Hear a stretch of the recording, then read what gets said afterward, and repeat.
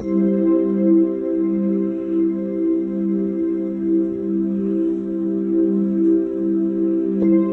crois que les histoires d'amour c'est comme les voyages en train. Et quand je vois tous ces voyageurs, parfois j'aimerais en être un. Pourquoi tu crois que tant de gens attendent sur le quai de la gare? Pourquoi tu crois qu'on flippe autant d'arriver en retard? Les trains démarrent souvent au moment où on s'y attend le moins. Et l'histoire d'amour t'emporte sous l'œil impuissant des témoins. Les témoins, c'est tes potes qui te disent au revoir sur le quai. Ils regardent le train s'éloigner avec un sourire inquiet. Toi aussi tu leur fais signe et t'imagines leurs commentaires. Certains pensent que tu te plantes et que t'as pas les pieds sur terre. Chacun y va de son pronostic sur la durée du voyage. Pour la plupart, le train va dérailler dès le premier orage. Le grand amour change forcément ton comportement. Dès le premier jour, faut bien choisir ton compartiment.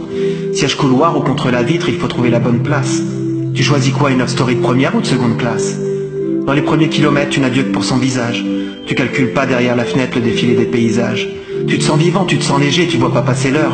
T'es tellement bien que t'as presque envie d'embrasser le contrôleur. Mais la magie ne dure qu'un temps et ton histoire bat de l'aile. Toi tu te dis que y es pour rien et que c'est de sa faute à elle. Le ronronnement du train te saoule et chaque virage t'écœure. Faut que tu te lèves et que tu marches, tu vas te dégourdir le cœur. Et le train ralentit et c'est déjà la fin de ton histoire. En plus t'es comme un con, tes potes sont restés à l'autre gare. Tu dis au revoir à celle que t'appelleras désormais ton ex. Dans son agenda, sur ton nom, elle va passer un coup de tipex. C'est vrai que les histoires d'amour, c'est comme les voyages en train. Et quand je vois tous ces voyageurs, parfois j'aimerais en être un. Pourquoi tu crois que tant de gens attendent sur le quai de la gare? Pourquoi tu crois qu'on flippe autant d'arriver en retard?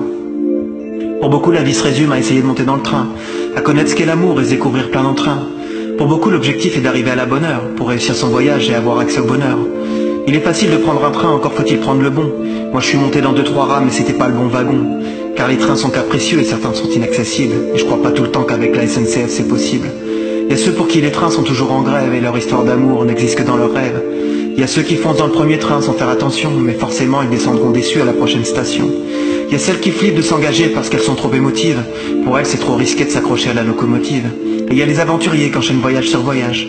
Dès qu'une histoire est terminée, ils attaquent une autre page. Moi, après mon seul vrai voyage, j'ai souffert pendant des mois. On s'est quitté d'un commun accord, mais elle était plus d'accord que moi.